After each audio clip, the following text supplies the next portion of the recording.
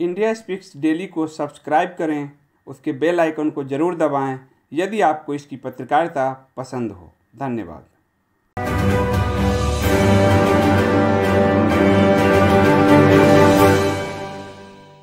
Welcome to India speaks daily I am mister Narayan Kar it is quite unbelievable that just one picture of distressed migrants boarding a truck is circulated by many belonging to anti-India brigade on Twitter to show the problems they are facing due to COVID uh, lockdown. In a population of 130 crore in India, just one picture is being circulated so widely. Instead, there should have been at least hundreds or thousands or two crore such pictures circulated on social media if the migrant workers' problems are of that big dimension. The truth of these motley pictures are that they are coming from states ruled by Congress and Trinamool Congress party. The migrant workers in these states are deliberately not being provided with ration so that they are compelled to ply due to hunger. The truth is, 99% of the migrant workers don't go home for years because if they go even on 15 days leave, it upsets their survival chain.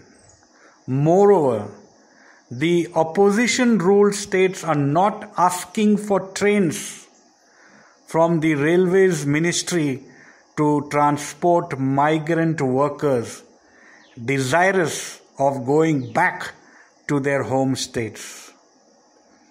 In fact, Railways Minister Piyush Goyal yesterday had accused opposition ruled states like West Bengal, Jharkhand, Chhattisgarh, and Rajasthan of not giving permission to receive the trains. Targeting the West Bengal government, Goyal said he has been given estimates that around 30 to 50 lakh migrant workers from this state living across India want to go home, but the state, that is the West Bengal, is tardy in seeking trains to bring back its stranded people. Till today, West Bengal had only seven trains planned, whereas it needs 100 trains every day for the next 15 to 20 days for every mig- migrant laborer to reach their homes and meet their families. The rate at which Bengal was planning the trains, only 5 to 7 percent of the migrants would be able to reach home by, the, by trains. If only 100 trains are run over 30 days, only 5 to 7 percent people will get the benefit of these trains and rest may face much hardships. They may try to walk on the roads, walk along the tracks, go by trucks, cycle, buses, and sometimes meet with accidents. As per West Bengal government's official figures, more than 2.5 lakh migrant workers had applied to return to the state. Railways ran close to 1,000 1,000 Shramik specials till May 14, transporting over 10 lakh stranded migrants.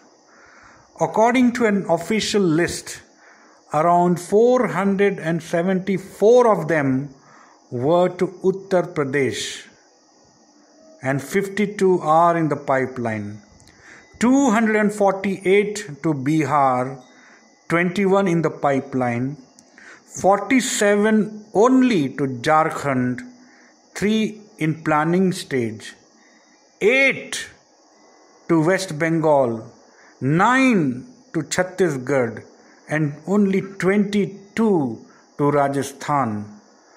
Above all this, the anti people Lutyens gang is reporting the problems of the migrant workers extensively. It is laudable, but hiding the names of the states where the problems are taking place, they are doing this just to attack Prime Minister Narendra Modi. On the contrary, the ecosystem, the Congress ecosystem should be hitting hard against those non BJP ruled states which are not providing ration to migrant laborers and arranging trains for those wanting to go back. They are also not asking these states to furnish the expenses of the central package meant for migrant laborers to give them ration and other benefits. This is calumny on the part of the Lutyens gang who wants to blame someone, hate, and give credit to those who don't deserve.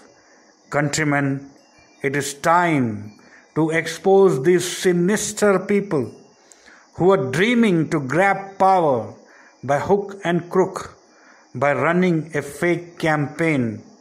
The latest campaigns of this anti people system are FIR Jihad and Migrants Jihad.